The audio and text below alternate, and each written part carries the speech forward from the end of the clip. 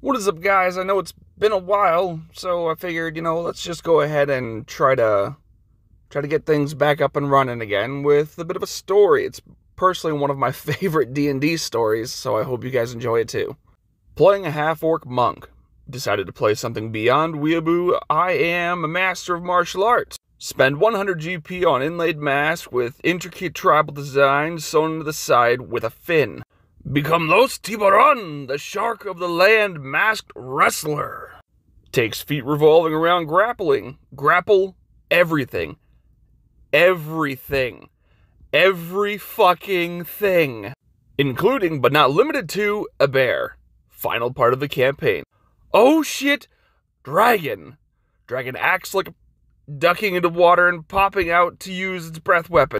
Fuck that, I'm charging his ass. Brother playing Warforged Fighter sits my mighty leap into the air where I pose in midair shouting, For the honor of the mask! Tackle a fucking dragon. Deal unarmed damage. Latch on, take a deep breath in preparation for an underwater struggle. Dragon goes up. I forgot they could fly. DM gives me the option to let go before it goes up. Fuck that, I'm still wrestling. 200 feet in the air, still wrestling a dragon and dealing unarmed damage. Dragon actually starts hurting me. Have to come up with a plan. Brilliance strikes me. I roll to pin. The entire table is silent. I roll to pin its wings behind its back so he can't fly anymore. Entire table is leaning over so I can make my roll of destiny natural fucking 20. I pin the dragon's wings, sending it and me hurling into the ground. I have six seconds to make my final statement. I am Los Tiburon, and I am a lucha!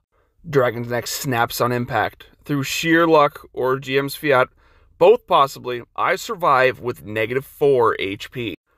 Cleric puts me back at 1, picks me up holding one arm into the air. My brother immediately bangs his shield twice, making a bell noise party's bard slash diplomancer, and the winner is Los Tiburon! High fives all around, and that is the story of how he made it to level 4.